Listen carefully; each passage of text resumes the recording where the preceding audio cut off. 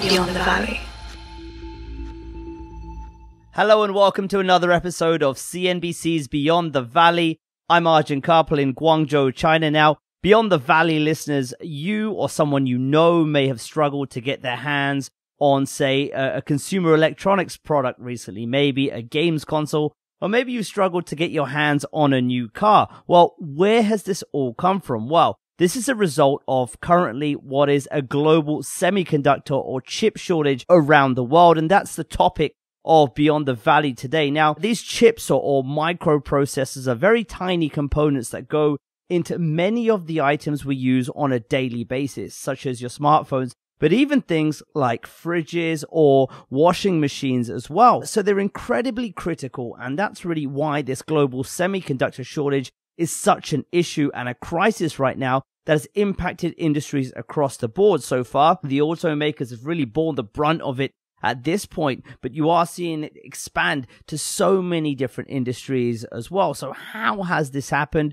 and what's next? Well, I'm glad to be joined by Sam Shead, who is our technology correspondent out in London. Sam, good to have you on Beyond the Valley for the first time. Thanks for having me, Arjun. Pleased to be here. Well, look, this is a topic you've been looking at for several months now, digging deep into it uh, and what's happening uh, behind the scenes here. So just give us an overview of, you know, how we've got here. Well, the simple answer is demand has been outstripping supply. There's basically not enough chips to go around. Um, it's a little bit more complicated than that, though. These chips are made at huge factories or, or, foundries, as they're otherwise known, sometimes fabs too. These big factories can only make so many chips, basically. They have to decide which chips they want to make months in advance. And this is where the problems come in. So last spring, car companies started to reduce their production targets and chip purchases as the virus spread around the world. At the same time, chip makers saw a pickup in demand for semiconductors used to support things like remote working and gaming. Then the demand for automotive chips rallied back a lot quicker than most people anticipated. But the foundries were already busy making other more sophisticated chips for companies like Apple. And to make matters worse, chip factories themselves have also been hit by coronavirus lockdowns. That's a great overview, and some of the uh, points we're going to dig deeper into uh, with our guest who will introduce momentarily. But Sam, uh, I just want to ask you as well. Look, a lot of uh, major executives of companies around the world have been commenting on this issue recently. Uh, what have they had to say about what they're facing right now, and sort of how they're seeing this playing out, and even when it might end? So opinions vary, but most people are kind of saying it's going to go on to next year and possibly 2023. Elon Musk, CEO of Tesla, he said last week that he, he sees things getting better next year as more chip plants come online. But then, yeah, as I said, there are some analysts who think 2023 is more realistic. Well, Sam, that was a, a, great setup, and I want to dig deeper into some of those topics with our guest for this episode, Peter Hanbury, a partner at Bain and Company at the company's technology, media, and telecommunications practice, focusing very heavily on semiconductors. Uh, Peter, thanks so much for joining us on this episode. Thanks for having me. So, Peter, let's just kick off the conversation with the question, you know, why are we facing this chip shortage right now? No, it's a great question. And a, a lot of industries are, are asking this exact question. Um, we like to think about it really in two phases with slightly different causes that first phase was really highlighted by the automotive chip shortage. And what happened there is when COVID hit, uh, they pulled back of their orders and uh, the capacity that they had reserved uh, went to other industries. Combine that with a lack of traceability and visibility into their supply chains, a lack of inventory, and they were hit pretty quickly and hard by the semiconductor shortage. The second phase is a bit of a different story. And, and this is where you're seeing folks like PC makers, Apple, Samsung, Qualcomm uh, being impacted. And the story there is uh, a bit more challenging. Uh, what's driving that is uh, the demand for uh, electronics, as folks have shifted to, to work from home, have increased significantly. And these industries are now being impacted by just structurally, there's more demand than there is supply available. And so instead of uh, the auto industry losing a small portion of the uh, semiconductor market that they used to have access to, uh, this is really the overall semiconductor market has demand significantly above supply. And that's a much more challenging structural problem, just given how long it takes to add capacity in the industry. So when it comes to the length of the chip shortage, Peter, you've got people like Elon Musk saying this is a short-term phenomenon and that things will be back to normal next year uh, because more and more plants are going to come online. But the the factories that have been announced by the big chip makers like TSMC and Intel, they're going to take years to build. So those two things seem to be at odds with one another. What's the true picture there?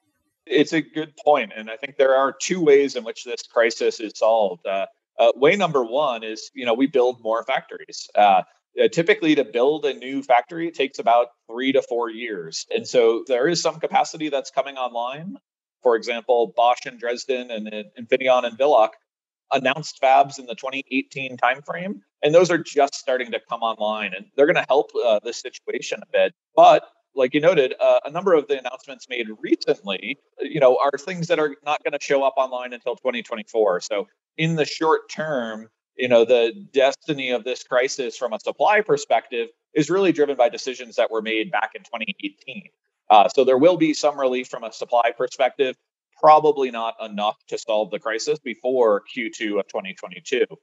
The other way the crisis gets solved a bit faster is from a demand perspective you know, if we start seeing demand for uh, PCs, smartphones, servers start declining, for example, as folks go back to work, that's the other way that you could solve this crisis maybe a bit faster. There aren't a lot of indications that that's happening right now, but that's really the best lever for the crisis to be solved faster uh, than what we currently think.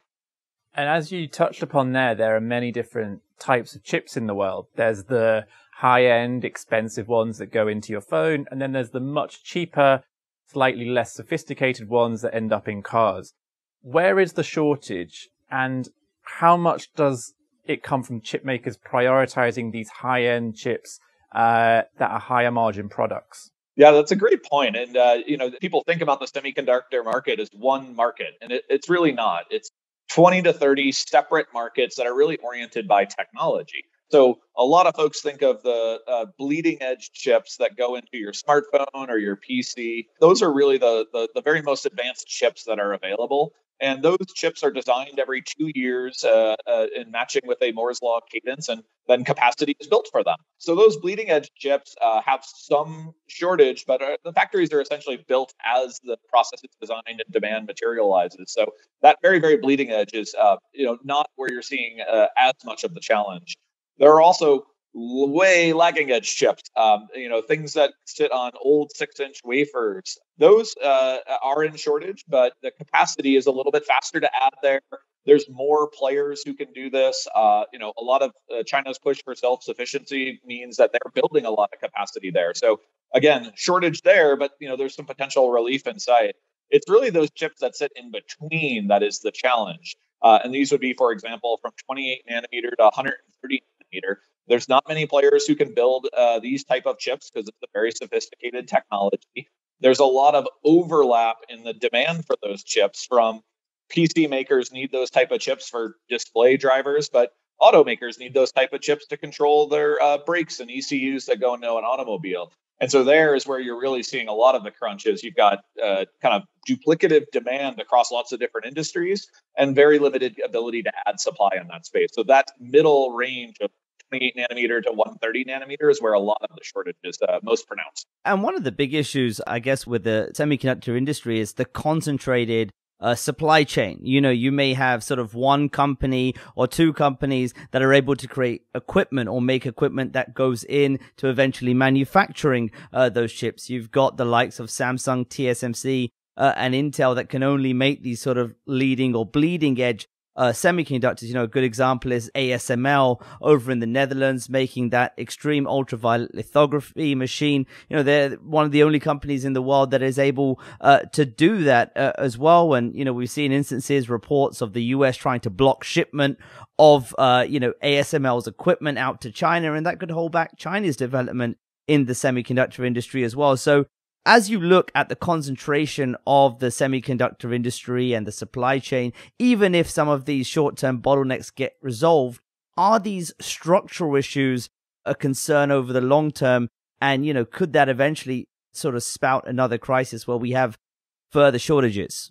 Yes. Um, so the, the semiconductor industry in general has a number of structural challenges that lead to these type of issues. Uh, you know, one, the lead times to add capacity or produce an individual chip are extremely long.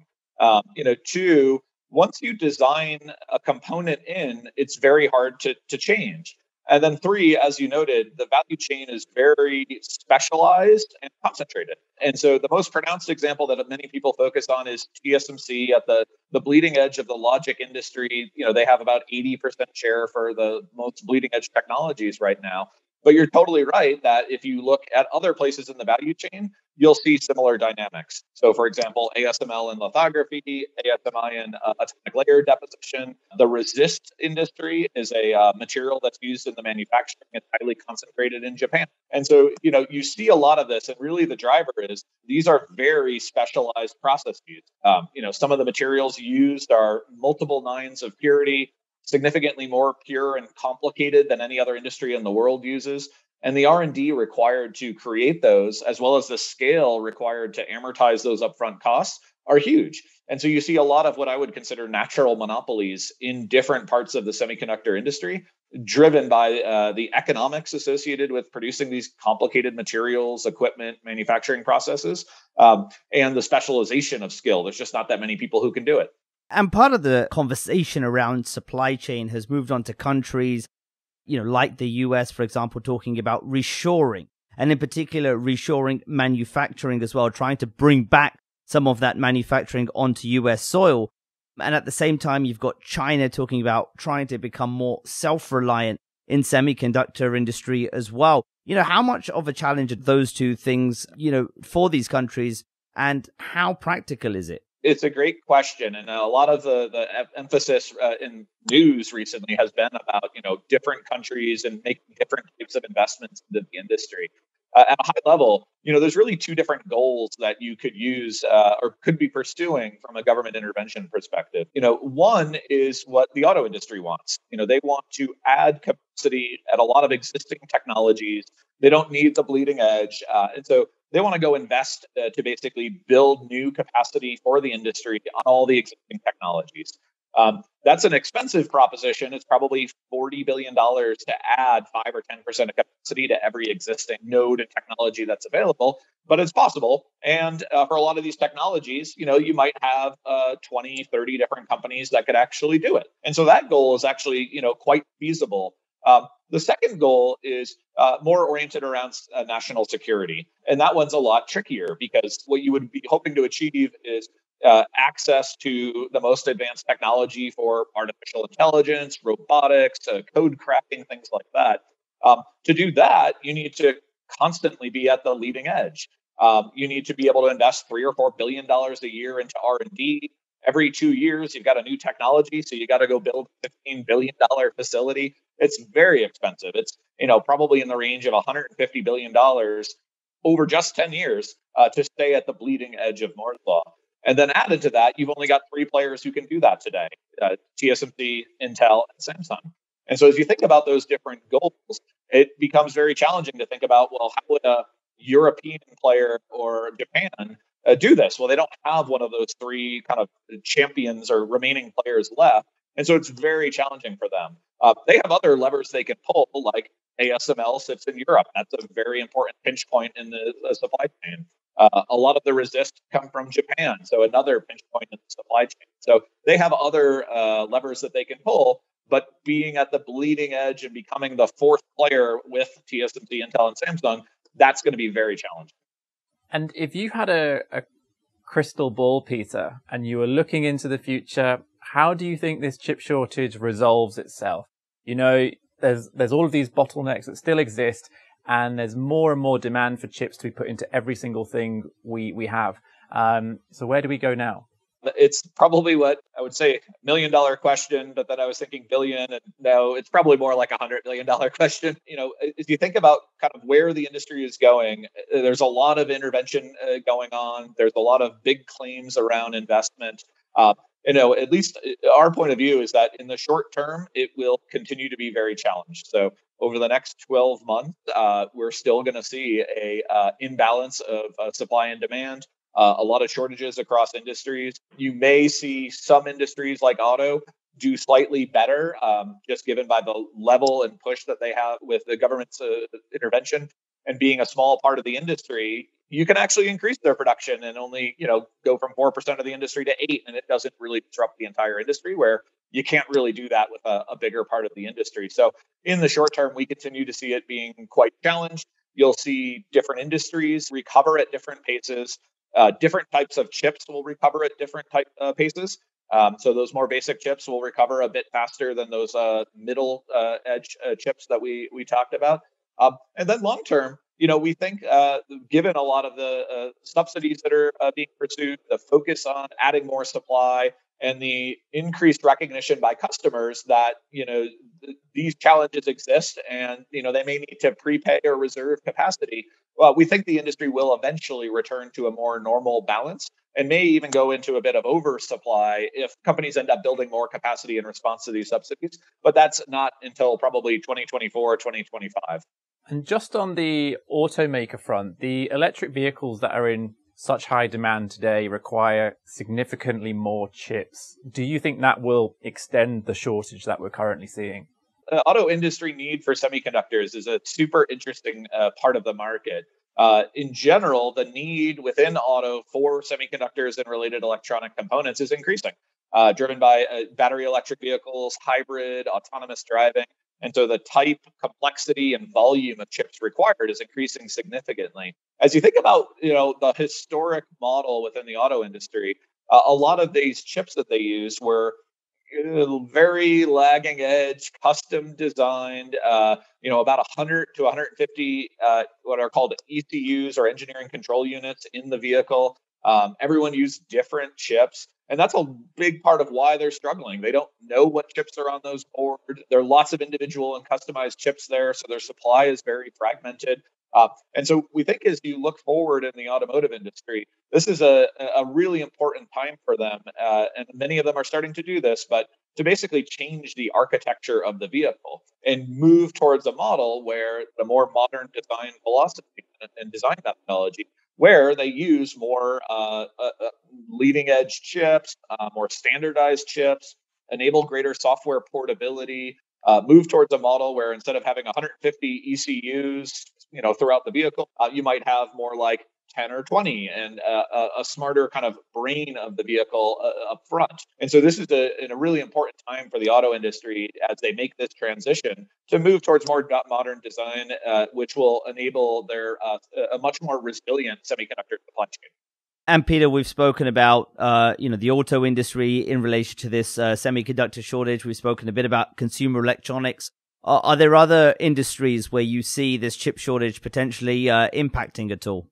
The impact uh, to date has been felt uh, uh, pretty much everywhere that consumes electronics, from you know small startups to to washing machines. Uh, and so uh, the impact has already been felt uh, throughout the industry. There's been a lot of focus on automotive, just given how visible it is, the the level of employment at those facilities. Um, the tech industry is being impacted, and you're starting to see that in you know laptop availability. And so the, the, impact is being felt throughout lots of different industries right now. It's just most visible in the automotive and tech space. And how much have semiconductor prices risen uh, during the chip shortage? Where do you see them going from here? And, and who wins and loses out as prices rise? Now, there's a, a bunch of different ways in which prices have risen. Um, the most obvious and one you know folks really focus on is TSMC. Um, they have over the last year increased prices in a couple subtle ways, like taking away discounts or uh, removing the typical price down curve that they they offer. Um, and then recently they've gone and actually you know raise the starting price of their uh, their wafers. Um, and so net net, we think those overall prices are increasing about 20 to 30% for the fabless customers who are buying their wafers from TSMC. In the back end, you're seeing some similar price increases. Um, that's the assembly and test portion of uh, manufacturing. The packages that go with the uh, uh chips are also rising in price. And so as you look at the impact on end products, uh, you're looking at the semiconductor cost uh, of these components going up about 20 to 30%. And the impact on the cost of a product will vary depending on how many semiconductors are in there. And so a phone where 80 to 90% of the value is semiconductors, you'll see a pretty big impact. For automobiles where, you know, the semiconductor content might be 10% of the vehicle cost, you'll see a more muted impact. And so the cost of devices will depend on how many semiconductors are in there. Now, the price that consumers pay may behave totally differently. So, for example, uh, automobiles, you know, the cost of an automobile may have gone up five, 10%. The price that a consumer sees may go up much more than that because the vehicle is in shortage and it's an opportunity to uh, fully realize the price of the vehicle. And so there can be a disconnect between price and cost due to the shortage of the components. Peter, that was a, a fantastic insight into what is a, an incredibly uh, complicated topic. Thanks so much for joining us today on Beyond the Valley. Thank you. Well, it's going to be very interesting to see where this goes, how long it takes to resolve itself. Um, it should hopefully be in a much better place by this time next year. But the fact of the matter is, most of today's chips are still made in Asia. TSMC has a lot of power. There are a couple of other players like Samsung and Intel as well. But if there's another pandemic or if there's another supply chain uh, breakdown somewhere, this whole thing, there's a lot of power concentrated in one particular corner of the world. And things may not go as smoothly as they have on this occasion. Yeah, I think that that's a great point. You know, structurally in this market, you know, there are still some issues there. We were talking about it in that conversation with Peter there, and that is the concentration uh, of power in certain companies' hands and the concentration of players in certain part of the supply chain um, as well. And I think that's going to be a key issue going forward. And I guess that, that feeds into the geopolitics of it all. It's why the US is talking about wanting to reshore manufacturing. It's why, you know, you're in Europe. Europe are talking about this issue as well, right, Sam? Yeah, that's right. But these things will take time, and Europe can't just all of a sudden start competing with Asia. You know, they need talent, they need a lot of money. Um, and this is going to take a long time. Whether governments and politicians will kind of uh, make the right investments uh, remains to be seen. Absolutely, yeah. Well, Sam, it was excellent to have you on Beyond the Valley for this episode. I think, uh, you know, we'll definitely get you back soon. Fantastic. Yeah, look forward to joining you again, Arjun. Yeah, and thank you for our, all our viewers and all our listeners uh, for watching this episode and listening to this episode. Of course, you can uh, subscribe to our YouTube channel uh, and also download the the uh, podcast episode on Spotify, Apple, and Google's platforms. That's it for another episode of CNBC's Beyond the Valley. Thanks for listening and watching, and we'll catch you next time. Beyond the Valley.